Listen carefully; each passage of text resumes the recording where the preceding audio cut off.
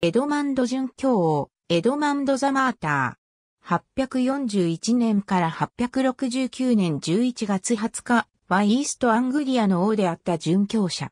まだ若い855年にイーストアングリアの王位を継いだ。最初期の、そして最も信頼できる資料においてエドマンドは、先のイーストアングリア王であるワフィングの家系の子孫であるとしており、別の資料では、彼の父親はイーストアングリア王、エゼルワードであるとする。ウェルズのジェフリーは、彼をサクソン人の王であるアルクムンドの抜種であると主張する。エドマンドは855年のクリスマスにエルムハム司教のハンベルタスによって体感させられたと言われていた。869年にエドマンドは大京都軍との戦いで敗北し、捕らえられ、拷問の末に殺され殉教者となった。彼は、聖教会、ローマカトリック、そして聖公会において劣勢されている。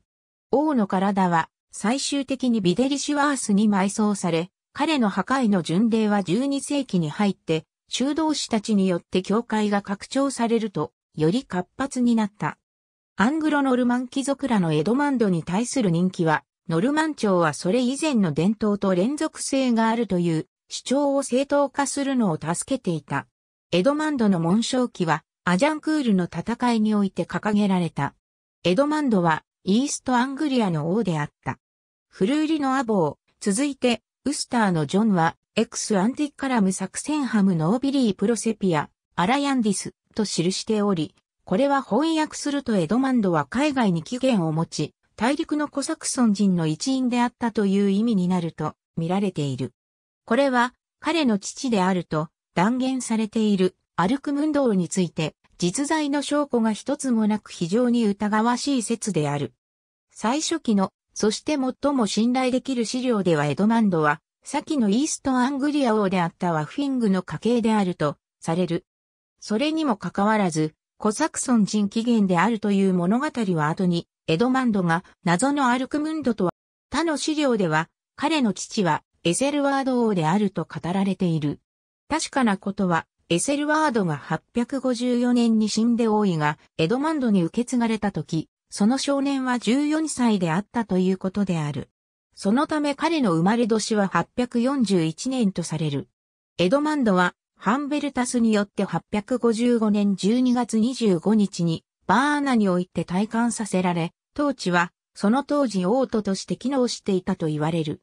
その後の14年間、エドマンド王が何をしていたのかはほとんどわかっていない。エドマンドは公明世代で模範的な王であり、媚びへつらう者に対しては堅くなであったということは記録されている。また、彼は一年間ハンストンに位置する塔に退いて、その中で全ての聖書詩篇を学び、そのためそれらを空で暗唱できたという記述もある。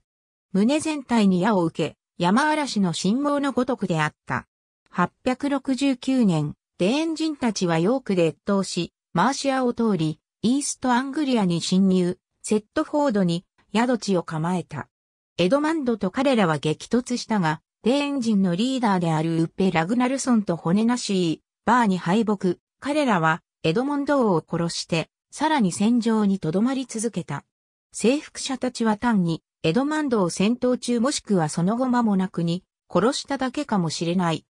エドマンドがキリスト信仰を捨てるか、異教徒君主の家臣として国を治めることを拒否したためにデーン人の矢によって殉教者として殺されたという人気のある物語は、その出来事からそれほど時を待たずして出来上がった。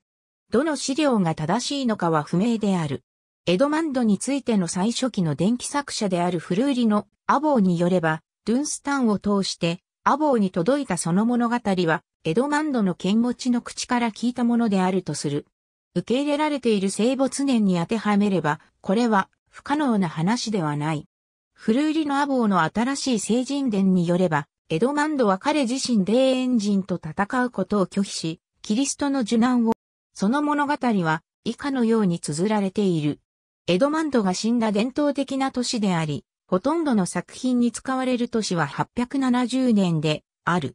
しかしながら、最近の調査では、彼が実際に死亡した年は869年であると言われ、この年は新しい歴史的事実として広く受け入れられている。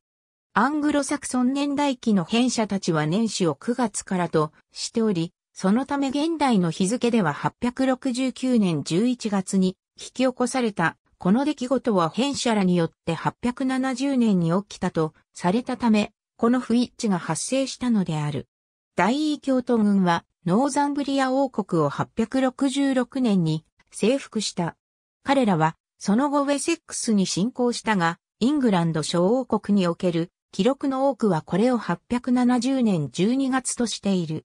この不一致では、異教徒たちが2、3週間余りでエドマンドを殺したのか、あるいは彼らがイーストアングリアにおいて略奪と足場固めに1年を費やしたのかという疑問点があった。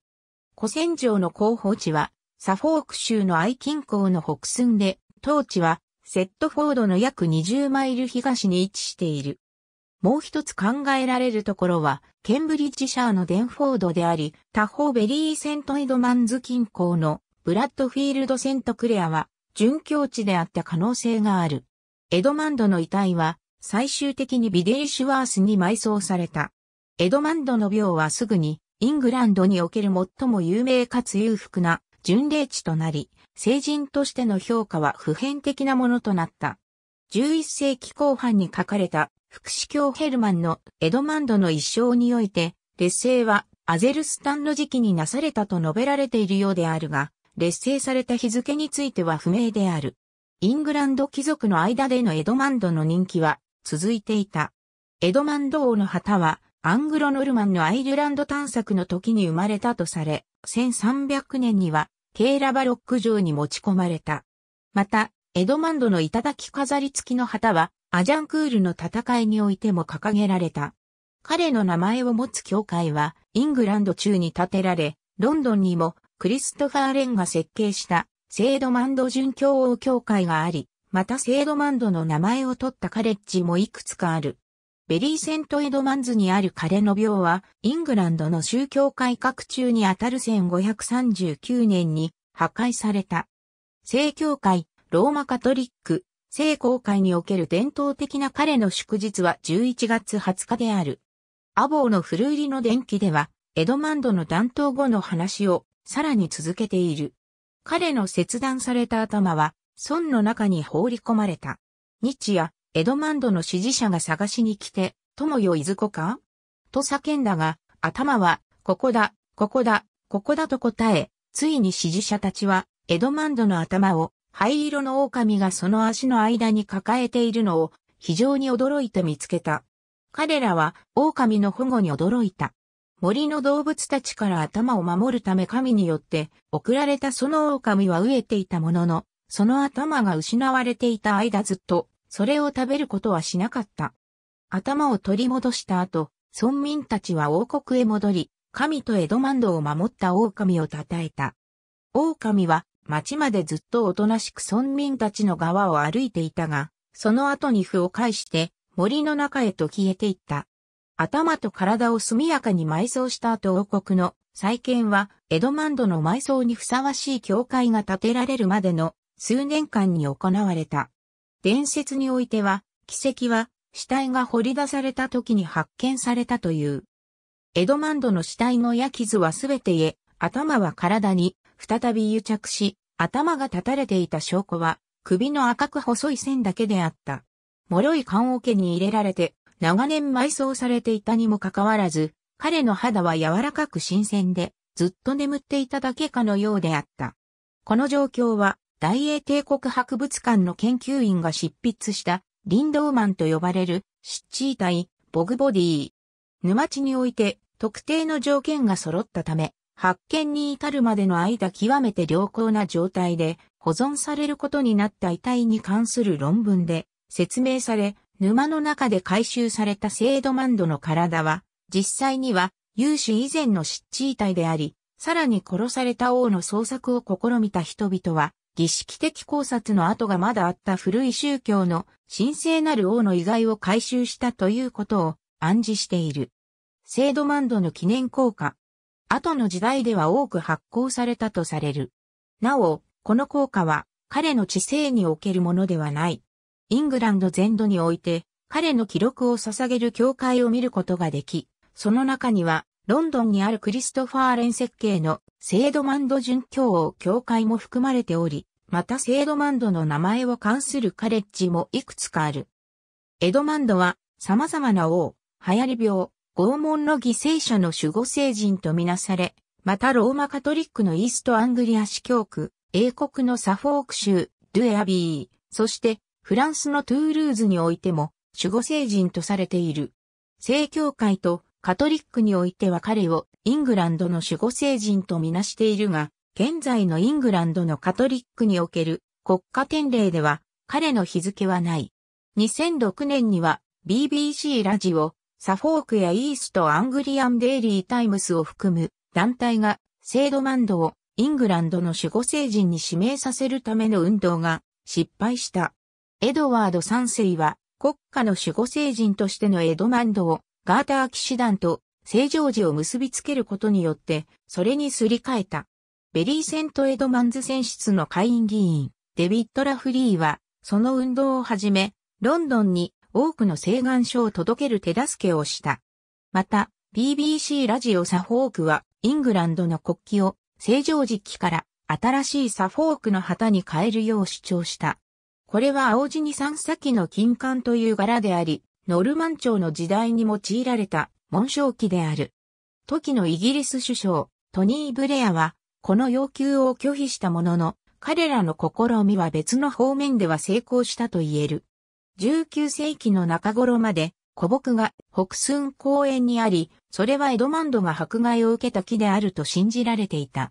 1849年、その古木は切り倒され、刻まれた。話によればその木の中心に矢尻が見つかったという。木の破片は保存され、それらのうち一つはエドマンドを祀る教会の祭壇の一部に使用された。この木のもう一片は、モイーズホールミュージアムにある。ある歯科医がこの破片に対してレントゲン写真を申し出た結果、中に曲がった釘が含まれていることが判明した。パーシー・ダーマーのザ・リトル・ライブズ・オブ・ザ・セインツにおいては、エドマンド死後のバイキングたちに対する復讐が語られる。スヴェン一世の息子であるクヌート王はキリスト教徒に改宗し、ベリーセントエドマンズの修道院を再建した。1020年には当地に巡礼して、祖先の行いを償うために、自身の王冠を聖廟の上に捧げた。バーナード・コーンウェルの歴史小説ザ・ラスト・キングダムでは、捕らえられたエドマンド王は、神の偉大さを骨なし、イーバーに示すため、自らを殺してくれと願い出る。神のご加護に守られた自分は、異教徒の歯では殺されないはずだからというのである。本当に奇跡が起きるか確かめるため、イーバーは、聖セバスチャンの殉教さながらに、エドマンド王の体に矢を射るが、結局奇跡は起きず王は大量の矢を受け死亡する。ありがとうございます。